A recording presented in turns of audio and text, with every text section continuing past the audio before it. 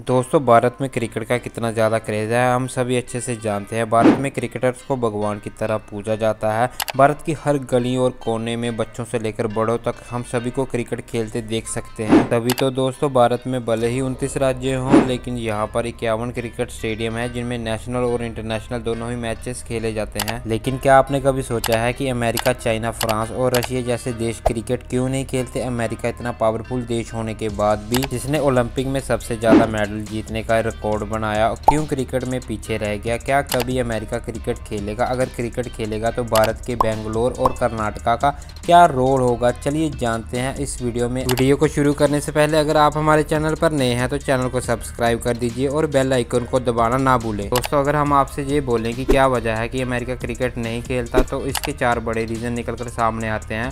तो चलिए अब आपको इनमें से पहले रीज़न के बारे में बताते हैं। नंबर एक ब्रिटिशर से पहले ही मिल गई थी आज़ादी। दोस्तों, ये बात तो लगान फ़िल्म के बाद हर कोई जान गया होगा कि क्रिकेट ब्रिटिशर की गेम है। और ये बात जग ज़ाहिर है कि इंग्लैंड ब्रिटिशर की कंट्री है। अब ये बात भी सच है कि दुनिया के कई देशों पर ब्रिटिशर ने राज किया है और जहाँ जहाँ पर भी इन्होंने राज किया है, वहाँ वहाँ के लोग क्रिकेट खेलते हैं, जैसे कि भारत, पाकिस्तान, श्रीलंका, बांग्लादेश। और दोस्तों, कुछ कंट्रीज़ ऐसी भी हैं जिन पर भले ही ब्रिटिशर ने राज किया है, पर वो क्रिकेट नहीं खेलते। जिनमें से सबसे बड़ी एग्ज़ाम्पल है अमेरिका। हम आपको बता दें कि हमें आज़ादी उन्नीस में मिली, लेकिन हमारे से एक सौ इकहत्तर साल पहले, यानी कि सतारह में अमेरिका को ब्रिटिशर से आज़ादी मिल गई थी। और दोस्तों, जब अमेरिका को आज़ादी मिली थी, तब क्रिकेट का नामो निशान नहीं था क्योंकि क्रिकेट अठारहवीं सदी में स्पोर्ट्स के रूप में आया था, पर अमेरिका तो इससे कई साल पहले ही आज़ाद हो चुका था। और यही एक बड़ी वजह है कि अमेरिका के लोग क्रिकेट खेलना पसंद नहीं करते हैं। नंबर दो, क्रिकेट जैसा खुद का स्पोर्ट्स डेवलप किया। अब दोस्तों, अमेरिका के लोगों का क्रिकेट की तरफ़ ज़्यादा झुकाव इसलिए नहीं है क्योंकि वहाँ के लोगों ने क्रिकेट के जैसा ही एक खुद का स्पोर्ट्स डेवलप कर लिया है। दोस्तों, जब भी अमेरिका को आज़ादी मिली थी, तब उन्होंने कहा था कि जिन भी देशों ने हम पर राज किया है हम उन देशों के रूल और रेगुलेशन को नहीं मानेंगे। तो इसके बाद उन्होंने एक दूसरा गेम डेवलप किया, जिसका नाम है बेसबॉल। अब हम आपको ये बता देते हैं कि अमेरिका के जो लोग होते हैं, उन्हें कोई भी चीज़ थोड़ी हाइपर तरीके से या फिर यूँ कहें कि वाइल्ड तरीके के साथ पसंद आती है। और अगर हम ये कहें कि बेसबॉल क्रिकेट का थोड़ा सा वाइल्ड वर्जन है तो शायद गलत ना हो। अब आप ऐसे समझ लीजिए कि क्रिकेट थोड़ा सा नॉर्मल और काम तरीके के साथ खेले जाने वाला स्पोर्ट्स है, और वहीं पर बेसबॉल में थोड़ी सी ज़्यादा हाइपरनेस होती है। तो इसलिए अमेरिका के लोग क्रिकेट के मुकाबले बेसबॉल खेलना ज़्यादा पसंद करते हैं। अब इन दोनों स्पोर्ट्स में जितनी सिमिलैरिटी है, उतना ही डिफरेंस भी है। अब क्रिकेट में बैट भी होता है बॉल भी होती है और बेसबॉल में बैट और बॉल दोनों होते हैं, लेकिन बेसबॉल में बैट की शेप अलग होती है। दोनों को अलग तरीके के साथ खेला जाता है रन लेने के तरीके भी अलग है। अब इस बेसबॉल को खेलने की एक बड़ी वजह ये भी है कि आज़ादी से पहले अमेरिका में बेसबॉल खेलना शुरू हो चुका था। दरअसल सतारह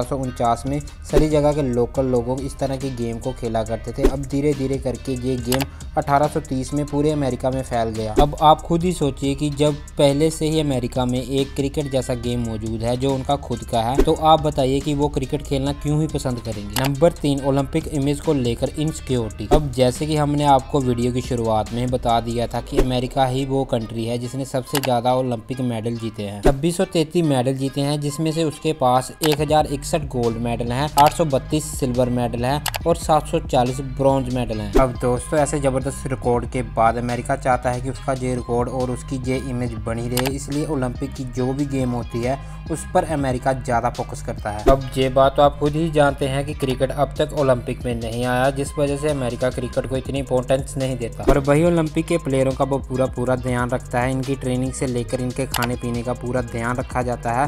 और यही वजह है कि अमेरिका 2020-2021 में होने वाले टोक्यो ओलंपिक्स में 100 मेडल जीते जिनमें से 31 गोल्ड मेडल थे। नंबर चार रग्बी की पॉपुलैरिटी अब जैसे कि हमने आपको बताया कि इन्होंने अपना खुद का ही एक क्रिकेट वर्जन बनाया जिसका नाम है बेसबॉल। वैसे ही इन्होंने फुटबॉल का भी एक वर्जन बना दिया जिसका नाम है रग्बी। अब जैसे कि क्रिकेट वाइल्ड वर्जन था, बेसबॉल का, वैसे ही फुटबॉल का वाइल्ड वर्जन है रग्बी। इन दोनों ही गेमों में सिमिलैरिटी और डिफरेंस, जहाँ फुटबॉल को हम पैरों से मारकर गोल करना होता है, वहीं पर रग्बी में हम बॉल को अपने हाथों से उठा सकते हैं। इन दोनों की बॉल में भी काफ़ी फ़र्क होता है, जहाँ फुटबॉल की बॉल गोल होती है, वहीं पर रग्बी की बॉल अंडा शेप में होती है। अब एक और चीज़ जहाँ पर आ जाती है, भले ही बेसबॉल अमेरिका का नेशनल स्पोर्ट्स हो, लेकिन जहाँ के लोग रग्बी खेलना ज़्यादा पसंद करते हैं। अब आप खुद ही सोचिए, जिस देश के लोग क्रिकेट देखना पसंद नहीं करते और ना ही देखना चाहते हैं तो वहाँ की अथॉरिटी क्यों ही क्रिकेट में पैसा लगाना पसंद करेगी? अब क्योंकि भारत के लोग क्रिकेट देखना पसंद करते हैं तो इसलिए यहाँ की सरकार और अथॉरिटी क्रिकेट में ज़्यादा पैसा लगाती है। और क्रिकेटर्स को भी उतना ही ज़्यादा पैसा मिलता है, और अगर हम क्रिकेट देखना छोड़ दें तो धीरे धीरे करके यहाँ की अथॉरिटी भी क्रिकेट पर पैसा नहीं लगाया करेगी। और हमारा भी हाल अमेरिका जैसा हो जाएगा। पर हम आपको बता देते हैं कि ऐसा नहीं है कि अमेरिका की क्रिकेट टीम नहीं है। अमेरिका की क्रिकेट टीम है,